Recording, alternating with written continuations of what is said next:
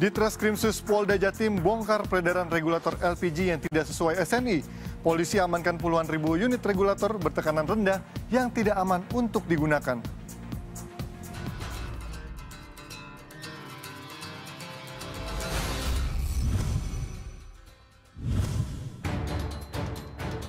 Polda Jawa Timur menyita 34 ribu regulator gas tak berizin usai menangkap produsen dan 5 distributor regulator yang tidak memiliki uji standar nasional Indonesia.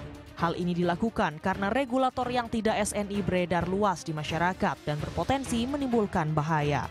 Seluruh regulator LPG tak ber-SNI ini merupakan hasil sitaan dari dua gudang di Komplek Pergudangan Margomulyo, Surabaya, Jawa Timur. Polisi menangkap Indra Mustakim, Direktur PT Cipta Orion Metal. Tersangka terancam hukuman lima tahun penjara. Dua merek yang disita polisi adalah Starcom dan Comdestek. Berdasarkan hasil uji laboratorium Balai Besar Bahan dan Barang Teknik serta Balai Besar Logam dan Besi, dua merek regulator ini sangat berbahaya. Regulator tidak memiliki kemampuan menahan tekanan sesuai standar dari Badan Standarisasi Nasional sehingga rawan mengalami kebocoran atau bisa memicu kebakaran dan ledakan.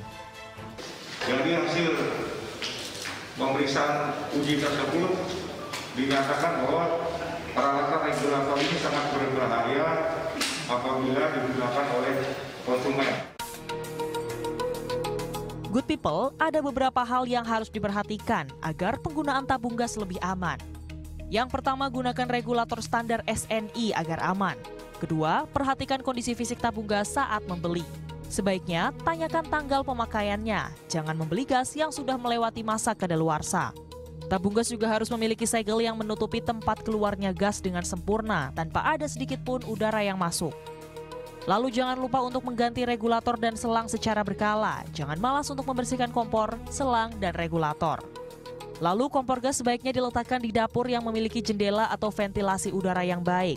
Sehingga jika terjadi kebocoran, gas dapat segera keluar dan tidak terperangkap di dalam ruangan.